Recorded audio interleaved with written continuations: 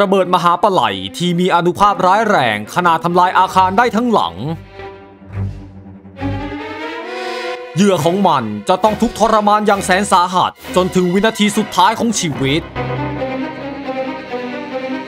วันนี้ในช่วงสุดยอดอาวุธสงครามขอนำเสนอ แว็กคูมบอม ความโหดร้ายที่ใกล้เคียงกับระเบิดนิวเคลียร์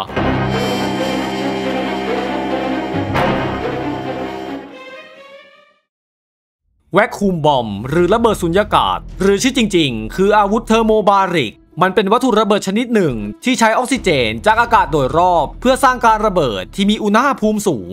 ซึ่งระเบิดนี้มีการพัฒนามาตั้งแต่สมัยสงครามโลกครั้งที่ 2 โดยเยอรมนี ผู้ประดิษฐ์คือมาริโอซิปเมเยอร์ นักฟิสิกส์ชาวออสเตรีย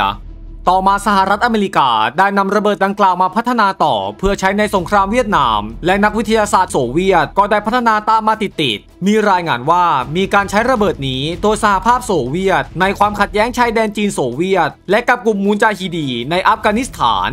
ตั้งแต่นั้นมาการวิจัยและพัฒนาก็ดำเนินต่อไปกองกำลังติดอาวุธของรัสเซียได้พัฒนารูปแบบกระสุนเทอร์โมบาริกสำหรับอาวุธหลายชนิด เช่นระเบิดมือเทอร์โมบาริก รุ่น TBG-7V ซึ่งมีรัศมีการทำลายล้าง 10 เมตร ซึ่งสามารถยิงจากเครื่องยิงลูกระเบิด RPG-7 หรือ GM-94 ที่เป็นเครื่องยิงลูกระเบิดแบบปั๊มขนาด 43 มิลลิเมตรที่ออกแบบมาเพื่อยิงระเบิดเทอร์โมบาริกเป็นหลักสำหรับการต่อสู้ระยะประชิด ลูกระเบิดนี้มีน้ำหนัก 250 กรัม บรรจุวัตถุระเบิด 160 กรัม โดยมันมีรัศมีการสังหารอยู่ที่ 3 เมตร หลักการทำงานของระเบิดสุญญากาศ ระเบิดสุญญากาศทำงานตรงกันข้ามกับระเบิดควบแน่นทั่วไป ซึ่งใช้การออกซิเดชันในพื้นที่จำกัด เพื่อสร้างแนวคลื่นแรงดันระเบิด และกระจายออกมาจากแหล่งกำเนิดเดียว ในขณะที่คลื่นแรงดันระเบิดของเทอร์โมบาริกถูกเร่งให้เกิดขึ้นในปริมาณที่มาก ซึ่งมันจะสร้างแนวคลื่นแรงดันอากาศภายในส่วนผสมของเชื้อเพลิง และออกซิเดชันวัตถุระเบิดเทอร์โมบาริก ใช้หลักการพื้นฐานของระเบิดไอระเหย ได้แก่การระเบิดของฝุ่น และละอองของเหลวที่ติดไฟได้ ซึ่งในอดีตการระเบิดของฝุ่นมักเกิดขึ้นบ่อยในโรงโม่แป้ง ในถังเก็บแป้ง และในเหมืองถ่านหิน ในส่วนของละอองของเหลวที่ติดไฟได้ ปัจจุบันการเกิดระเบิดไอระเหย ได้เกิดขึ้นบ่อยในเรือบรรทุกน้ำมัน และถังโรงกลั่นน้ำมันที่ว่างเปล่าบางส่วนหรือทั้งหมด เช่นเหตุการณ์ที่บันช์ฟิลด์ในสหราชอาณาจักรในปี 2003 ซึ่งคลื่นระเบิดได้ยินไปไกลถึง 150 กิโลเมตร จากบริเวณจุดศูนย์กลางของการระเบิด คลื่นแรงดันที่เกิดจากการลุกไหม้ที่ตามมาภายหลัง จากการจุดระเบิดของระเบิดสุญญากาศนั้น จะอ่อนกว่าคลื่นแรงดันของระเบิดทั่วไปมาก เช่นระเบิด TNT แต่การยุบตัวของอากาศเกิดขึ้นเกือบพร้อมกันในทรงกลมที่มีเส้นผ่านศูนย์กลาง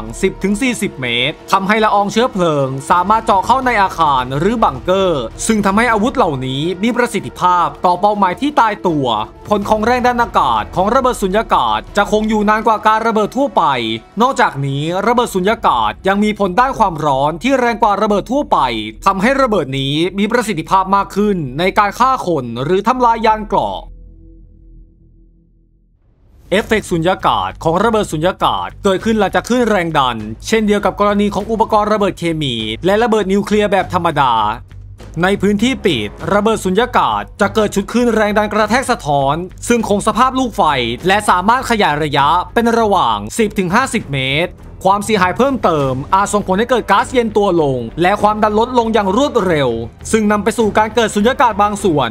อย่างไรก็ตาม เนื่องจากลูกไฟที่ค่อนข้างใหญ่ เอฟเฟกต์การดูดอากาศนั้นมีพลังมากกว่า เมื่อเทียบกับประจุระเบิดทั่วไปที่มีกำลังเท่ากัน ซึ่งแม้ไม่ใช่สุญญากาศในความหมายที่แท้จริง แต่เป็นช่วงของแรงกดดันย้อนกลับ โดยการระเบิดจะดึงออกซิเจนออกจากอากาศรอบข้าง เนื่องจากตัวอุปกรณ์ ไม่มีตัวออกซิไดซ์ของตัวเอง แต่ใช้ออกซิเจนในอากาศแทน ซึ่งมันจะทำให้เหยื่อจากการระเบิด ได้รับภาวะขาดอากาศจากระเบิดสุญญากาศ แต่โดยแท้จริงแล้วมันไม่ใช่การขาดออกซิเจนโดยตรง แต่เป็นอาการบาดเจ็บที่ปอด ซึ่งเรียกว่าบาโรทามาซึ่งสาเหตุมาจากแรงดันลบภายในขอบเขตของการระเบิดทำให้อากาศในปอดขยายตัว ซึ่งอาจนำไปสู่ความเสียหายของปอดได้ ประสิทธิผลของระเบิดสุญญากาศขึ้นอยู่กับปัจจัยหลายประการร่วมกัน เช่นการกระจายเชื้อเพลิงได้ดีเพียงใด การผสมเข้ากับบรรยากาศโดยรอบได้เร็วเพียงใด การบรรจุระเบิด และตำแหน่งของเพลิง ที่สัมพันธ์กับภาชนะบรรจุเชื้อเพลิง และในระเบิดสุญญากาศบางแบบ ภาชนะบรรจุระเบิดที่แข็งแรงทำให้แรงดันระเบิด สามารถกักเก็บได้นานพอ ที่เชื้อเพลิงจะได้รับความร้อนสูงกว่า อุณหภูมิที่จุดติดไฟเองได้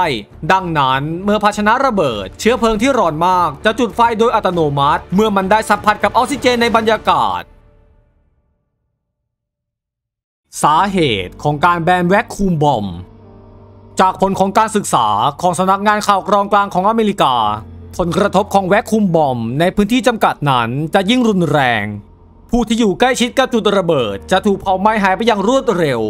ผู้ที่อยู่บริเวณชายขอบมีแนวโน้ม ที่อวัยวะภายใน จะได้รับความเสียหายจำนวนมาก รวมถึงแก้วหูแตก และอวัยวะในหูชั้นในเสียหายจากแรงดัน การถูกกระแทกอย่างรุนแรงจากแรงระเบิด ปอดและอวัยวะภายในจะแตก และอาจทำให้ตาบอดได้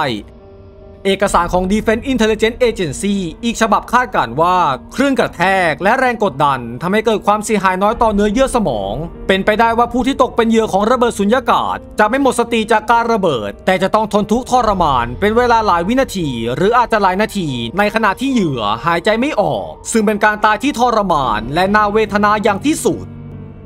ก็จบไปแล้วนะครับสำหรับระเบิดสุญญากาศเป็นยังไงกันบ้างครับ หวังว่าจะได้ความรู้เพิ่มเติมกันนะครับ ถ้าชอบคลิปนี้ก็อย่าลืมกดไลค์กดแชร์คลิปของเราด้วยนะครับ ถ้าจะให้ดีนะครับ ก็กดติดตามช่องเราไว้ด้วยเลย จะได้ไม่พลาดความรู้ที่เรานำมาฝากนะครับผมสำหรับวันนี้ผมก็ต้องขอลาไปก่อน สวัสดีครับ